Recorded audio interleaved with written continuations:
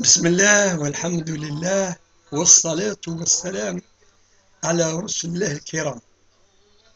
ربنا نور قلوبنا حتى تؤهل إلى محبتك وطاعتك وخشيتك. آمين يا سميع يا عليم.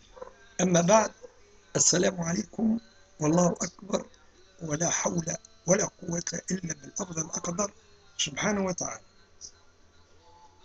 آية 79 من سورة آل عمران لا famille d'Amran que la paix d'Allah soit sur ما كان لبشر أن يؤتيه الله الكتاب والحكم والنبوة قلنا لابد من تهيئة ربانية باش قلوب الأنبياء عليهم السلام تحمل ثلاثة بركات ما كان لبشر أن يؤتيه إيتاء الله هو إكرام لهم وتحذير وتربية لهم. ما كان لبشر أن يؤتيه الله الكتاب والحكم والنبوة ثم يقول العكس لا يجوز.